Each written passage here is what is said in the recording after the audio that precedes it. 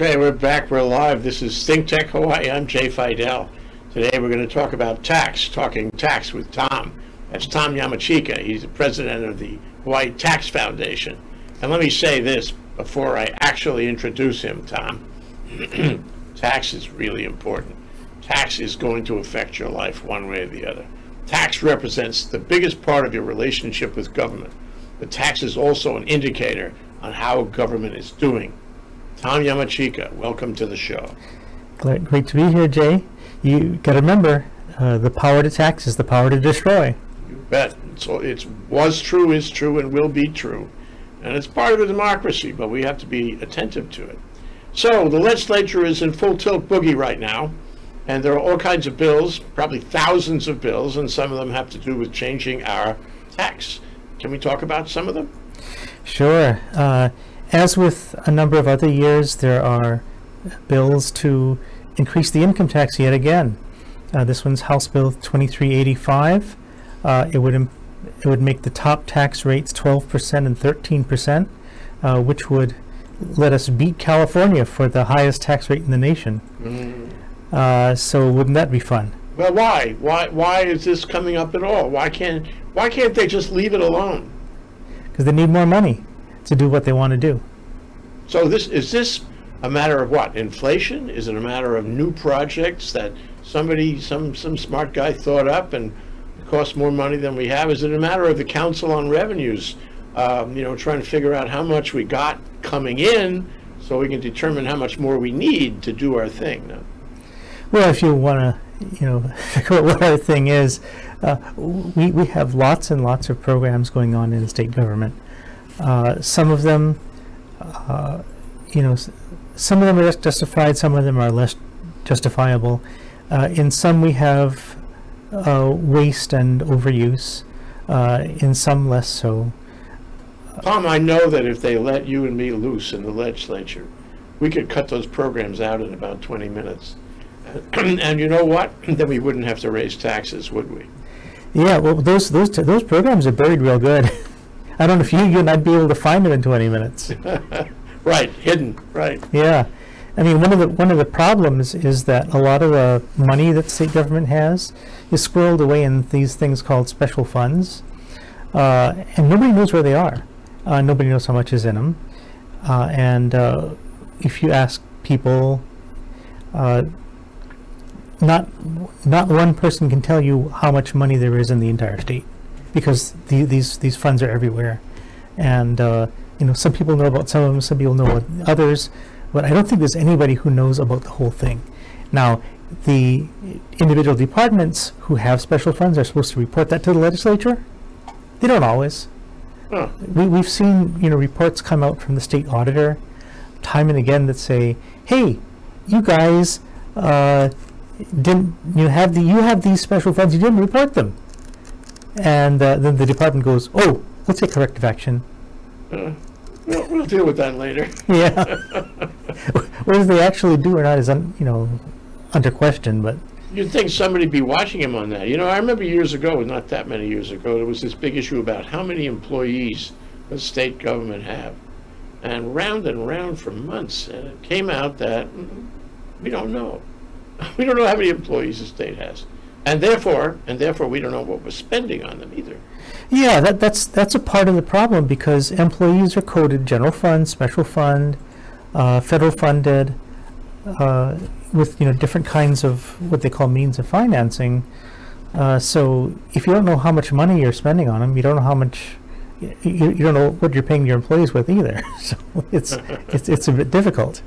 Okay, so when you say 11 and uh, 13, you're saying uh, is that a difference between corporate and individual rate? Why do you give two no, numbers? That, no, that's the that's the top individual rates. Right now, uh, we have it going up to 11. Mm-hmm. Oh, I see. So it changes to 13. Yeah. So so the two two new brackets would be created 12 percent and 13 percent. Yeah. And these are for you know uh, people with you know six digit incomes or, or higher. Yeah, but you know what? It says it seems like a small amount when you're just going from hmm, 11 to 13. But in fact, that's an amount, that's 20% more in terms of the increase, right? Yeah.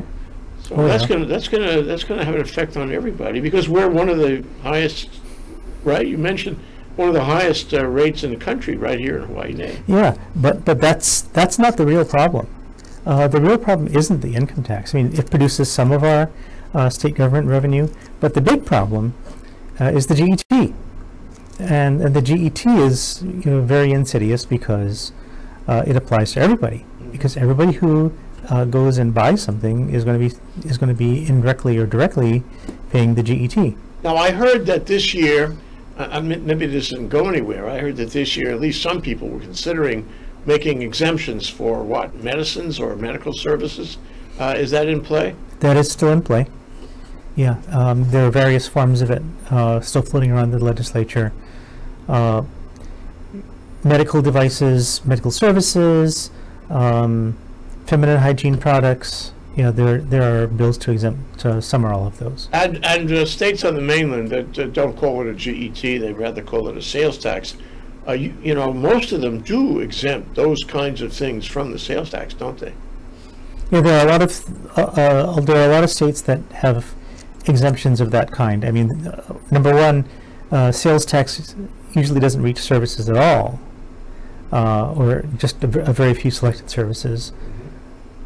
Um, so medical medical services wouldn't be picked up, and then they would have uh, some exemptions for like drugs or medical supplies, and, Well- and, and ours ours has some exemptions too. But, uh, you know, well, I mean, I would support a reduction, I would support appropriate exemptions here, because I think the sales tax is too, it's too over, overarching, it's too plenary, it covers too many things. I mean, um, rest is so, Well, that's why George people love Bush has argued for this for his whole life.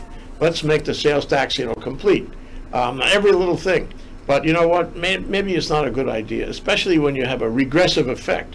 I mean, it's a double whammy regressive effect when you do it on medicines, because these people can't afford medicines. It's the little guy that gets killed on medicines and, and the medical services. Yeah, and So this is a everything else, because the-. Right, right, well, everything else is true. Yeah, so, so one thing you gotta watch for is, uh, this bill called the State Improvement Surcharge, which is going to be, uh, lifting our GET by another half percent. You know, this is on top of what the counties have put on already, uh, for five years. It's supposed to be temporary, you know, that's, that's in the theory. Whether it comes to pass, we don't know. Uh, because, you know, stuff has been temporary before and has changed to permanent status, like, uh, you know, the 9, 10, 11% income tax rates that were uh, brought into into effect, I think, in 2000 and, uh, 2009. So we had a, a temporary 9, 10, and 11% top tier brackets uh, for 2010 to 2015. We lost them in 2016, and we thought, oh, we're rid of, we're rid of them. But uh, in 2017, uh, they came back with a bill that says, hey, let's reinstate these, and, and we'll, we'll pay for the earned income tax credit that way. You know, And that's, um, what, and that's what passed. You go to New York State, I don't know exact rate, but New York State has a sales tax, call it a sales tax, of like 8%. So people think, oh, wow, that's more than Hawaii. But not really. No, no, not at It all. only applies to some things, not other things. It's not plenary over everything. And so I think there's, you know, people, there's a confusion in that. So when, when they say, oh, we're gonna, we're gonna raise you by half a percent, um, that is a huge raise because it covers everything. And I think we'd be very careful about treating the, the GET lightly. It's a very, as you said, a very powerful tax. It's, it's the one that has more effect than anything else, any other tax in the Yeah, no, a, a half percent uh, tax rate uh, rate hike can be expected to generate between quarter of a million and three hundred million dollars annually. That's a lot of money. Yeah, yeah, yeah. So, uh, you know, uh, so when they think up these new projects, uh, some of which are cockamamie to start with, uh, they really ought to think about the effect on the small guy uh, with a, a regressive tax like this. I hope somebody's thinking those thoughts. And speaking of regressive taxes, we can also go on to carbon taxes. You've heard of carbon taxes, right? I've heard of them, and I haven't, I haven't seen much of them. In fact, I don't think the country has seen much of them. Yeah, I think there's like maybe one or two states or one or two cities that have them. I don't think a state does yet. Um, but the idea is uh, for a tax to be imposed on any kind of fuel uh, that basically, uh, when you burn it, it throws carbon into the atmosphere, and the uh, and the tax, you know, what, the, the tax amount is based on the amount of metric tons of carbon dioxide released by the burning of this gas. So, um, what uh, this bill, uh, Senate Bill 3150, does is, uh, you know, uh, uh, when when we talk about gasoline, for example, we have we already have taxes on gasoline. We have a state fuel tax of 16 cents a gallon. We have a county fuel tax that's between 16 and a half and 23 cents a gallon, depending which county it is. And then this will be on top of that. Okay. Uh, and the the amount of carbon tax they're talking about is, you know, between 40 and 80 dollars per metric ton, uh, which would be when you work out to you know per gallon, it's 17 cents per gallon when it starts, 53 cents a gallon when it's fully phased in. And that's at $80 per metric ton. Sounds, you know, it sounds regressive to me. It's Yeah, anybody who wants to drive a car, Around, yeah.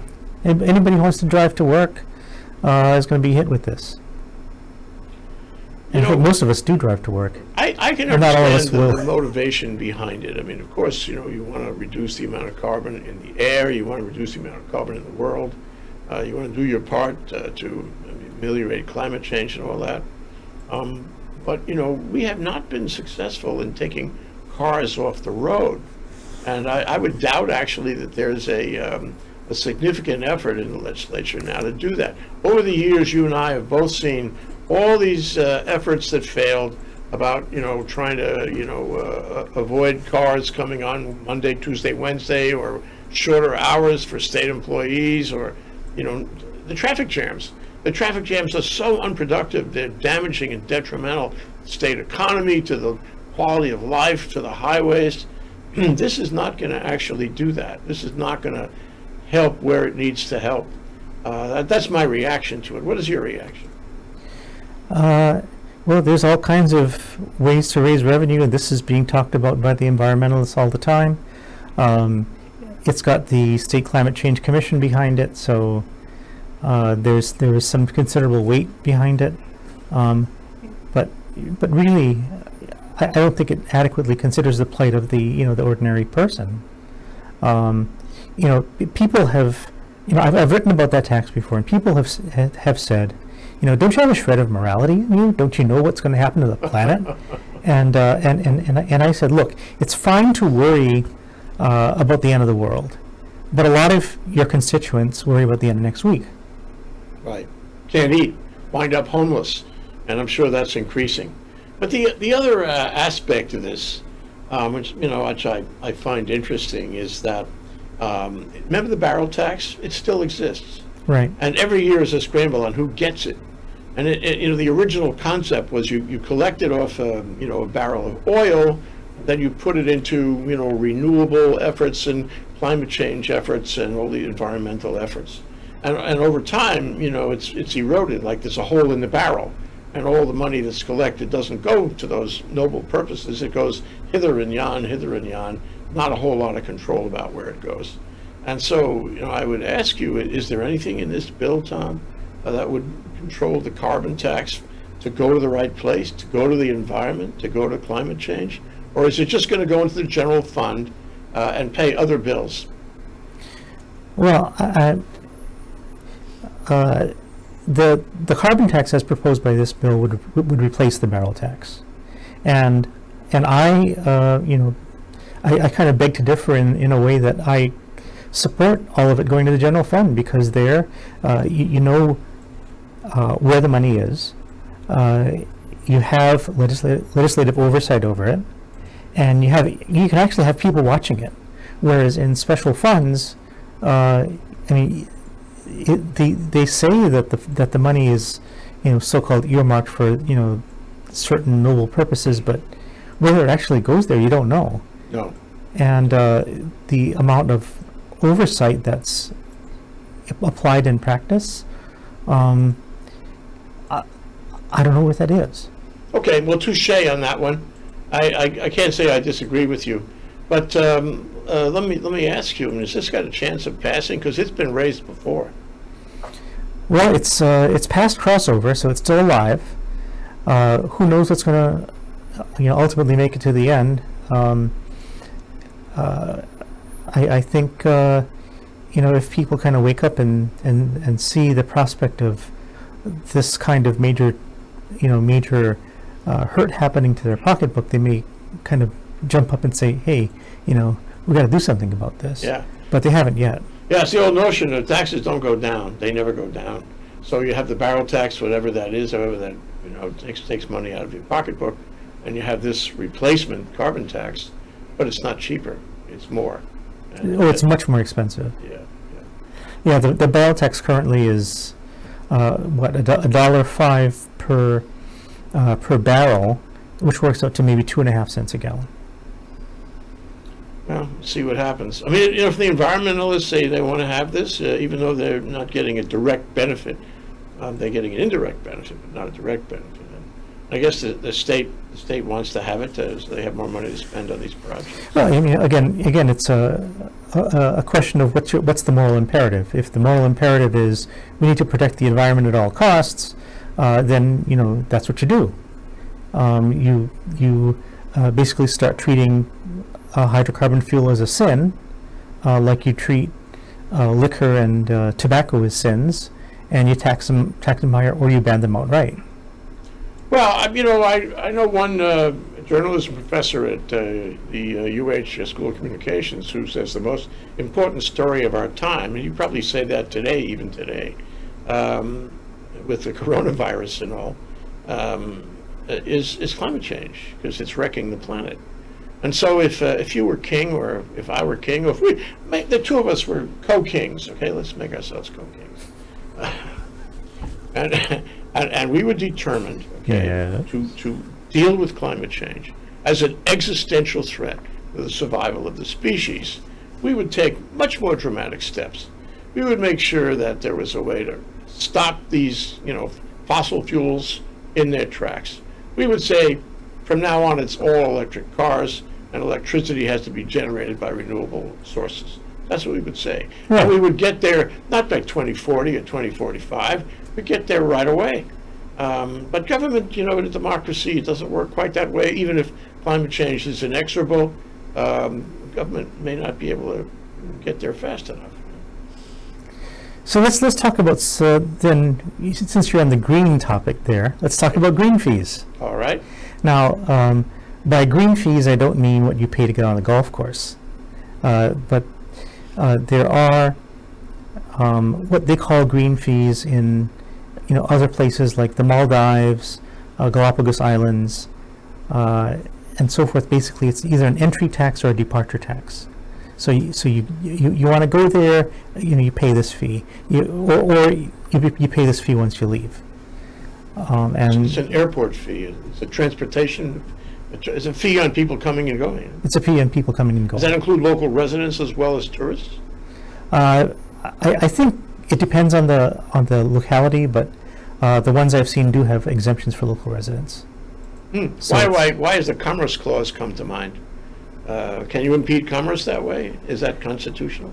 Uh, you can impede commerce, but but there's but there's something more fundamental afoot. It's called the constitutional right to travel. Because you know we are citizens of the United States, uh, we have the constitutional right, and and the uh, Supreme Court decided a case in uh, in the 1800s uh, that say we do have the right to go as we please between states, uh, unimpeded by such such things as a as a departure tax, be- because uh, uh, Nevada uh, tried to put one in uh, in the 1850s. It was one dollar per person leaving the, the, the the state by you know train or stagecoach. They didn't have buses yet. Um, and the Supreme Court said, well, uh, that's unconstitutional. You can't do this because that impedes the constitutional right to travel. So what's the difference? Uh, we don't have stagecoaches anymore. You heard it here on Think Tech. but that's but that's what I told the legislature. You know, we still have this case called Crandall versus Nevada. It's still good law. Uh, it established the constitutional right to travel, and uh, if you if you do this, uh, you'll find yourself in federal court and you'll be shot down. That's embarrassing. It means we don't fully understand the right to travel. And then if, and then if you just start trying to uh, discriminate against foreign people, uh, you know, that are not protected by the constitutional right to travel, then you have the problem that you're discriminating against foreign commerce. Well, and you also have the, the notion that uh, Hawaii is uh, killing the goose. I mean, tourism is our middle name. We can't afford to uh, start squeezing the goose on that. We need to protect it, especially in view of the difficulties uh, of coronavirus. We're, we're already squeezing the goose. You know how much our transient accommodations tax is? Okay, it's, okay. It's, it's, it's twice as much as it was when the when the uh, when the law started off. That was in Okay, so you have the 1996. transient accommodations tax, plus you have the green tax. What do we think of next? You know, point is, rental vehicle tax. okay, so forth. Well, tell me more good news. That's not that's not going to pass, is it? Uh, I sure hope not. Uh, right, right now it's a, uh, it's a, a bill to convene a study group and, and do a study. And the Office of Planning says it's going to be, you know, like four hundred fifty thousand dollars to do. Uh, And, and, and I, I- I'm saying, you know, like in my testimony, save your money, this is unconstitutional. You know, go do something else. You know, we, we could, we could use that money elsewhere, you know? the four hundred go and s- fifty thousand, yeah. Yeah, go, go save some homeless people or See, I something. tell you, Tom, you and me, we could be the study group. We could do it for much cheaper than that, and we could give them an answer in about twenty minutes. exactly. Oh, and and um, uh, what about empty homes? You, you want to you want to talk about the empty homes Oh, tax? please, totally, yes. Okay, there is a uh, a proposal, Senate Bill 2216, and, and by the way, the, the green fees bill was Senate Bill 2696. But the empty homes tax uh, is uh, basically how it works is you'd get sent a monthly return every month um, that you have real property that is that you don't qualify for a homeowner's exemption for. Okay, so you could be renting it out. Uh, you could be using it as a vacation home, whatever it is, but as long as you don't uh, qualify for a homeowner's exemption, you'd be paying this tax every month. And what would the tax be? Uh, it, would- it would work out to annually 5% of the value of the property. 5%. Now, just, just to give you a comparison, in, in Honolulu here, our residential rate for, for property, our, our, the property tax we pay now, is $3.50 per thousand. That's a lot less than five percent. Yeah, five percent is fifty dollars per thousand. Yeah. Just, just, just so you can compare, you know, apples and apples. Well, this sounds punitive to me. It is punitive, and that's, but there's a more fundamental problem with it. And the fundamental problem is, it's property tax. Because it's imposed on the owner of property, and it's imposed because the, the owner uses it or doesn't use it uh, in, in, in a certain way. And the only people in this state who can impose property taxes are the counties. You know, we the people wrote that into the Constitution in 17, 1978. So Don't we have, doesn't doesn't the state have power over the counties? Doesn't it preempt on things? Well, no, the, the, the state constitution preempts the state, Okay? and it gives the counties the power. So this is unconstitutional under the state constitution. Right. So something, you know, something is there to control our state government, and that's our state constitution. And, and then, then, then there's the federal government and the federal constitution that we have to uh, abide by. Have you mentioned this to them? It's in my testimony. All right. Well, see what happens. Maybe they should have another study, and, and you and I can be the, you know, we can do the study cheap. Yeah, I hope they don't have to spend four hundred and fifty thousand dollars finding out what's in the state constitution.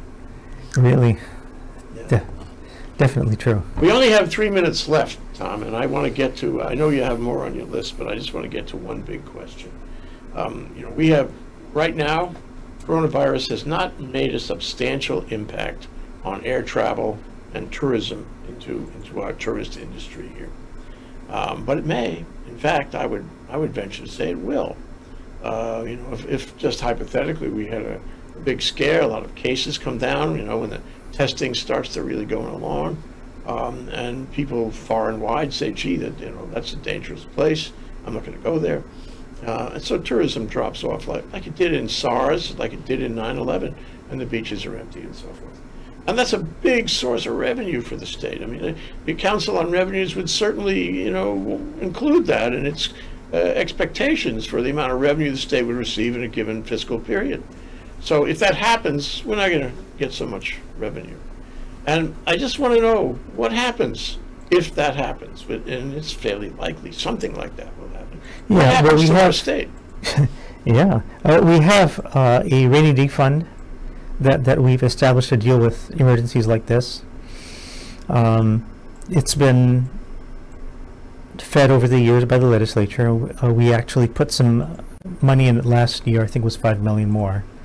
Uh, so we have some money in there to help help cope with the uh, the situation.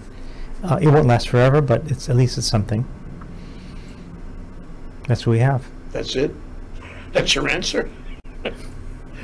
What, what, you know, this could be a major economic crisis for the state. Oh. Let's assume, let's assume, I'll take it a step further. Let's assume You know it. there's not enough money in there to do much at all. What happens? Uh, then we, I think we, we come back to furlough Fridays and uh, you know government issuing IOUs instead of instead of cash for things it buys. Uh, up to up to the merchants whether they want to take them or not. Um, people people uh, get paid less, uh, and then you know we've had experiences with that before. Yeah, well, it'd be hard to collect taxes, especially increased taxes, wouldn't it? Because nobody would have a lot of. Well, nobody have money. increases. Period. Yeah. Yeah, yeah. Well, um, remains to be seen what happens, but I think you and I have to keep on talking um, because I think this will emerge not as necessarily as a fact, but as an increased threat uh, over the next couple of months during during the legislative session, uh, and they really need to think about it. Yeah. Those uh, those people in that square building behind you uh, are going to have very important roles to play. Yeah, and so is the press, and so are you. Thank you so much for doing what you do, for checking up on us. You know, it's not like the average citizen uh, goes to these hearings, but you go. It's not like the average citizen follows all these increases in tax, all these increases in tax, uh, but you do, and and we should appreciate that, and we should appreciate other members of the press and you know the professional groups that do follow these things, so it doesn't happen in a vacuum. Thank you so much, Tom. Thank you, Jay. Aloha.